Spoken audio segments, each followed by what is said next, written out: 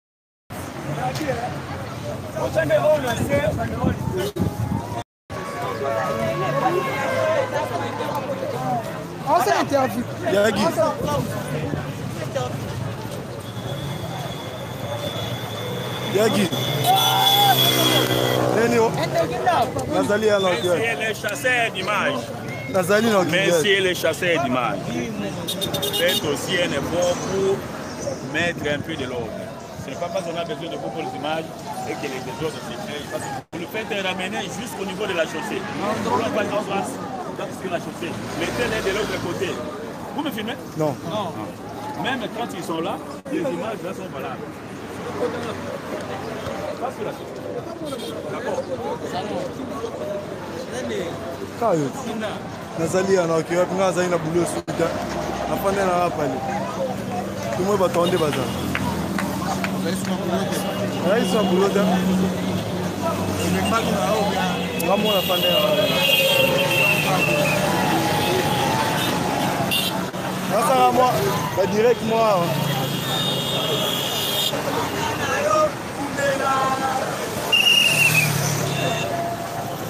Posta interview na na on a profité. Oh. Ma présidente.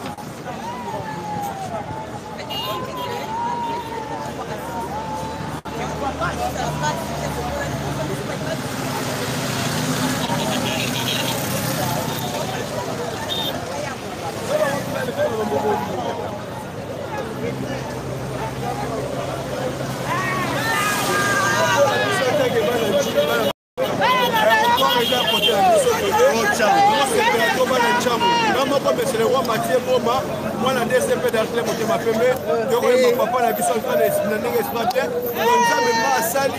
soko tolala talaka papa mopembe makambo mapembe ya kitoko toremercie ato na bagrand prêtre nyonso ya bakonzi bata mbongo to mouvement ngo yango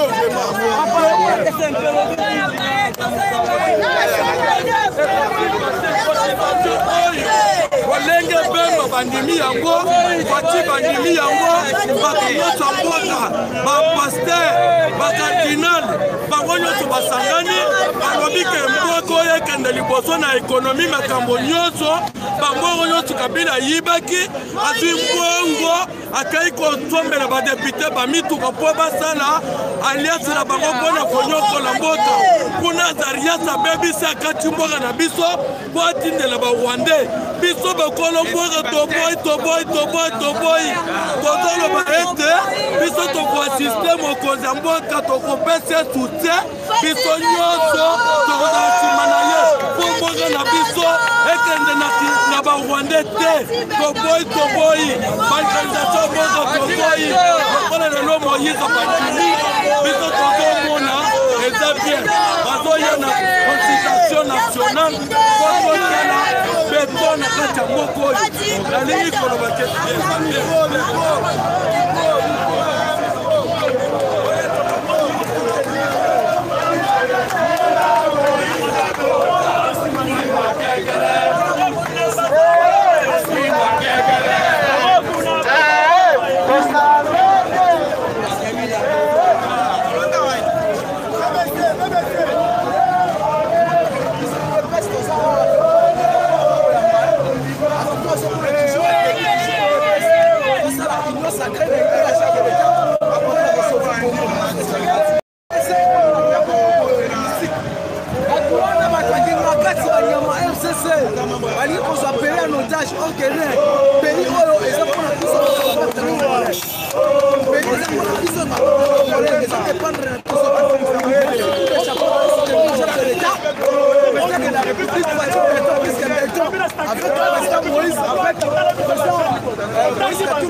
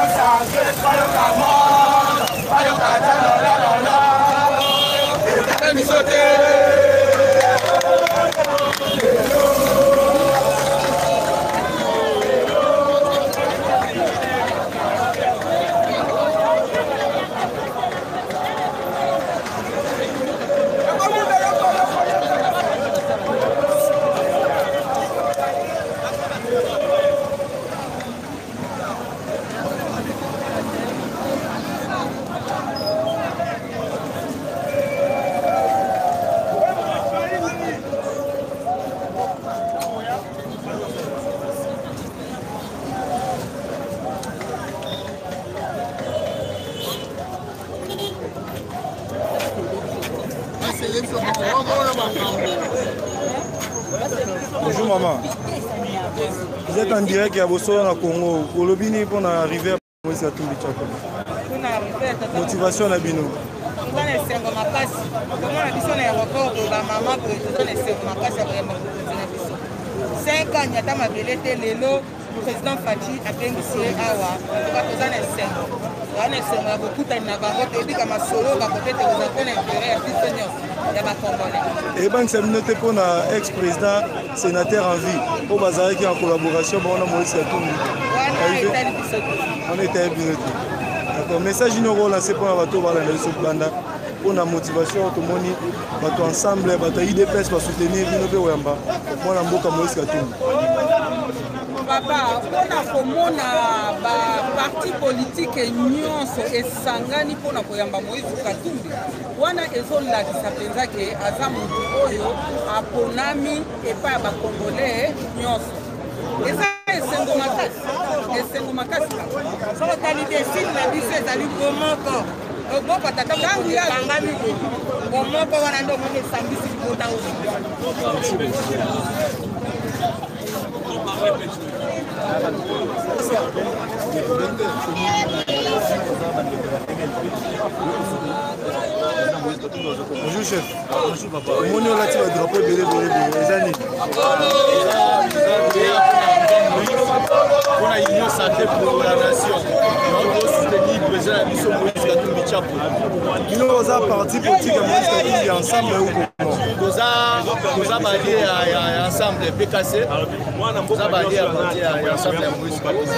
oyebisa baabone nyonso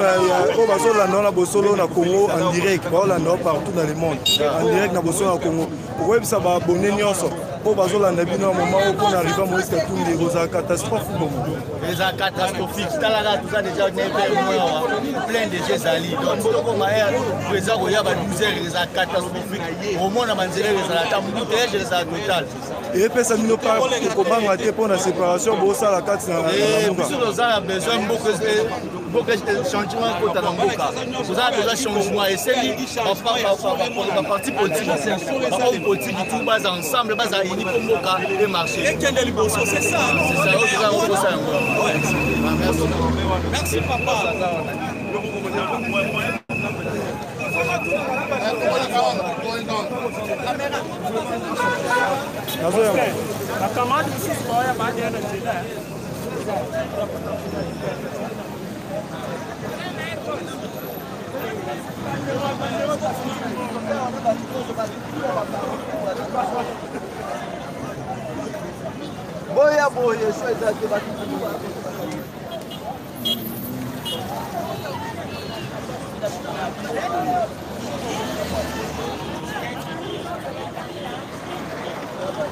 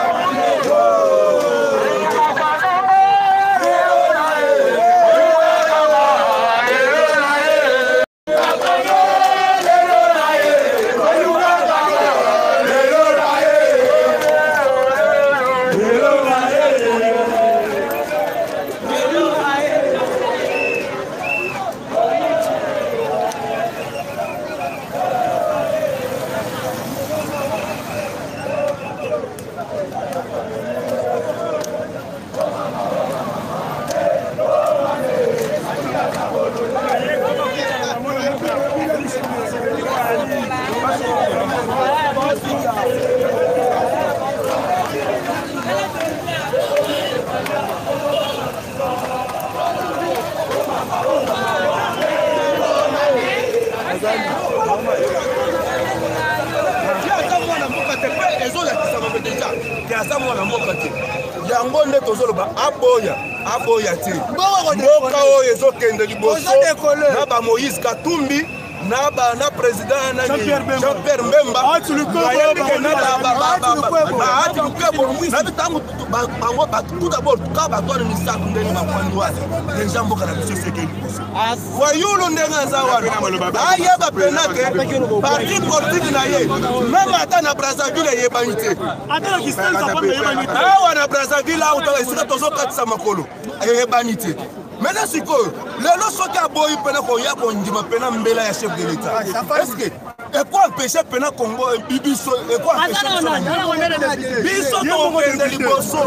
lelo tozoyamba moïse katumbi mpo aza mwana mboka tomoni bilemo oyo mpena asali na lubumbashi bato nyonso bazalaki na lubumbashi bazali kolobeleke te le président moïse katumbi azalaki mpene na bolingo ya bana mboka mpo bakende liboso me lelo tozomona pene makambo ndenge bandeko na biso bazali kosala biso tozolobeleke turu oyo eza makambo ya ke motu mosusu aya pena koyebisa biso bahistoire moko soki ya ndenge nini te awa toye pour que toluka changement lokola chef de l'état mpena abeti mbele nazoloba mpena ke moïse katumbi ayoki lokola aza na bolingo yake mboko yetomoni bino boza mobilize moko ya lelo koyamba moïse katumbi chapoawa mama omoni lelo mena ya po ya njili wi message na epesa batoto ya katanga apa tokoya mpo ya njili toye koyamba mokonzi ya mboka mokonzi ya mboka aza mpe moïse aye koyamba mokonzi ya mboka mpona basangisa mayele basangisa mayele batala vi ya bajeune na bapeuple congolais nyonso tosufi makasi tala vi na biso ebebi boye bazolokota bango so bakendaka na makasi manque de moyen kabila oyo kabila oyo akozwa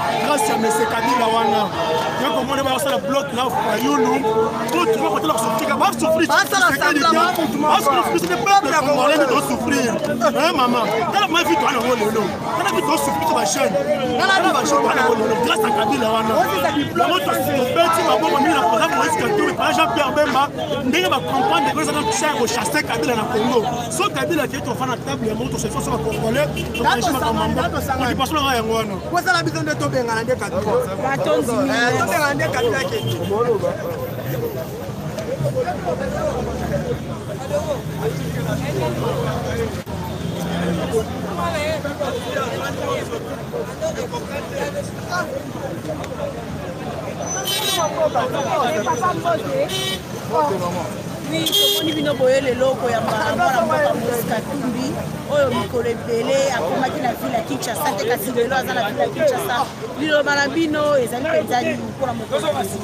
toye awa koyamba mokonzi ya assemble pour la république moïse katumbi moïse katumbi alobaki aosala politike na ye pardon ah. moïse katumbi alobaki aosala politike na ye na moi alobaki akoya komona chef de l'état na moi makambo ya butu eza te chef de l'état invité ayo participe na masolo yango oyo balobi Station nationale. Moïse Katumbi asali 5 ans na exil. Awumeli. Bino moko bomoni chemin de la cour Moïse asali. lelo demokrasi ekoti na mboka topesi president félix tshisekedi longonia félix moïse katumbi aza na kinshasa yango nasengi na bakilo nyonso tozala ebele toyamba le chairman moïse katumbi chapeau balobi lamuka ekabwani mwana mboka moïse katumbi na bemba mama lamuka ekabwani te so totangi charte ya lamuka balobi na chaque parti politique baza na liberté epuis baza na autonomie d'action moïse katumba ye na compte ya ensemble pour la république mwana mboka bemba akendaki na compte ya mlc soki faola kokenda kokende na compte ya sid soki mozito akokende akokende na compte ya mpelela donc moïse katumbi